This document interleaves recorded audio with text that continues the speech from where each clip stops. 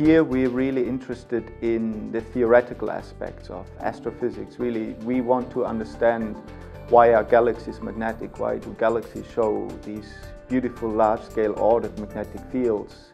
The galaxies are basically the, um, the places where the stars form, so they are filled with billions and billions of stars and these stars they live for uh, several million years or billion years, but the, the massive ones, they live fast and die young in a sense. They explode very in, in like huge supernova explosions.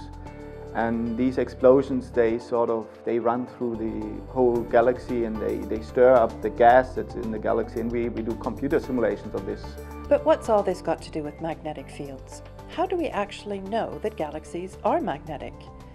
This is again related to supernova shocks, where superfast atomic particles known as cosmic rays are accelerated. Cosmic rays are charged particles that become trapped by the Earth's magnetic field. When cosmic rays collide with atoms in the atmosphere, they produce light. One can say that the glow of the northern lights traces out the magnetic field of our own planet.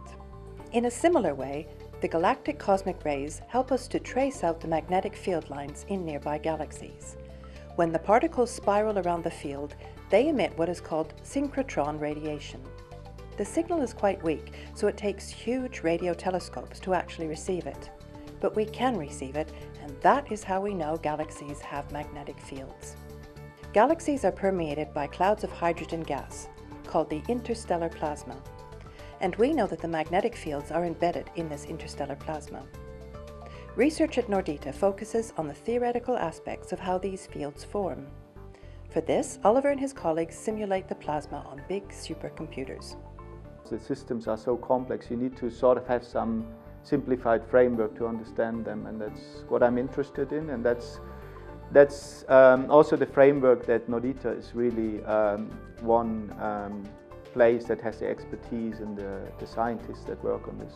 A key role in these computer simulations is played by supernovae, which cause turbulence in the interstellar plasma and which are essential for the formation of the galaxy's magnetic fields. Galaxies are basically huge whirlpools, that's to say, they rotate. If you sit inside one of them, like the exploding stars do, you'll feel what is called a Coriolis force. That's the same force that makes a hurricane twist up in the Earth atmosphere. This rotation will wind up the magnetic field lines.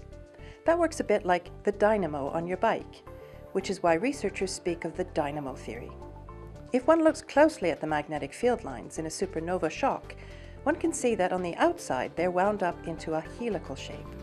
This helix is the key to understanding the dynamo mechanism. But to understand how the many small explosions affect the galaxy as a whole, we need one more piece in the puzzle. Spiral galaxies are flat disk-like objects. If the supernova explodes a bit above the disk, it will become balloon-shaped. The upper part will expand slightly faster and will produce a stronger dynamo effect. This explains why the magnetic fields created by the individual explosions do not cancel.